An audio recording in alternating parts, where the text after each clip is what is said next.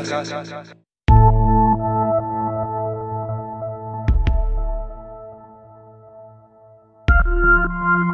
a todos, en este vídeo vamos a ver la segunda noción del mito de la caverna de Platón, el ascenso al mundo de arriba y el sol. Con este ascenso al mundo de arriba, Platón representa en qué consiste realmente ese proceso completo que será el que recibirá el filósofo. Pero también este ascenso, esta subida al mundo de arriba y al sol, simbolizan los grados de conocimiento que describe Platón dentro de su dialéctica. Empezaremos por el primer punto en lo que se refiere a la educación, al proceso de educación.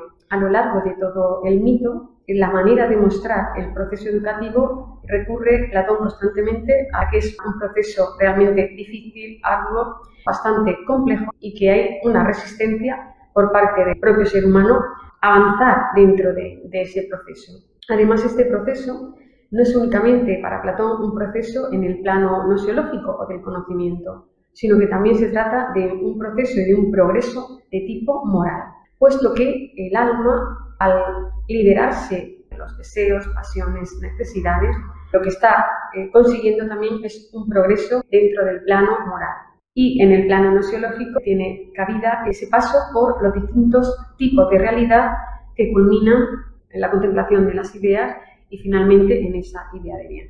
El filósofo sería la persona que culminaría este proceso educativo y que habría pasado desde ese mundo de las tinieblas, de, las sombras dentro de la caverna, al mundo de la luz, de la inteligencia. Sería el más sabio, también sería la mejor persona eh, a nivel moral y por lo tanto la única preparada para el gobierno de, la polis.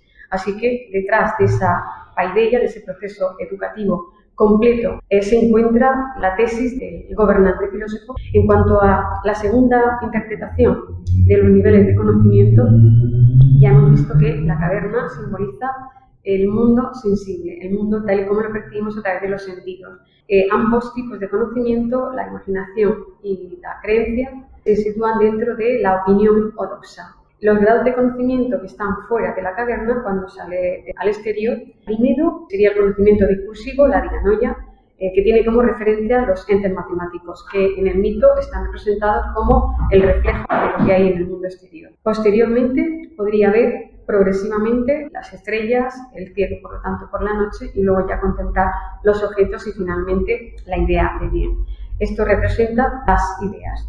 Por lo tanto, el último grado de conocimiento sería la dialéctica, la intelección o noesis, donde lo que contemplaría serían las ideas, que son para Platón las realidades en sí, lo verdaderamente inmutable, eterno, perfecto y por lo tanto eh, el objetivo del máximo conocimiento. Nos dice además Platón que el sol representa la idea de bien.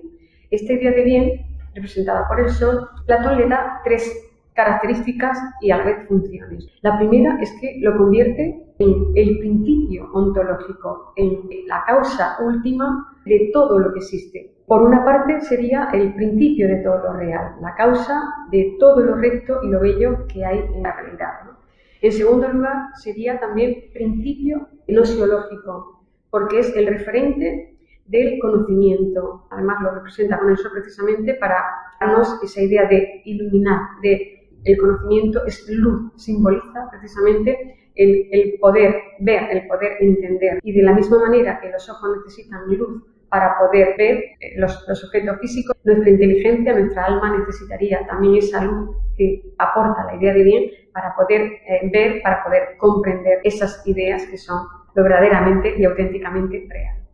Y el último punto es que no solamente tiene estas connotaciones, sino también el ser el referente, la guía de la acción, de la conducta humana en sus dos ámbitos, privado y público. A nivel personal, a nivel de nuestra ética, es la idea de bien la que orienta precisamente nuestra alma hacia ese bien, hacia lo que realmente es correcto. En el plano eh, público, que representa la política, también es a su vez lo que hace que la persona pueda decidir de manera correcta y por lo tanto de manera eh, justa. Por esto mismo, la educación representada en el mito de la caverna, el objetivo de la educación del filósofo, le va a capacitar para poder encargarse del gobierno de la polis. Bueno, nos vemos en el siguiente vídeo. Hasta luego.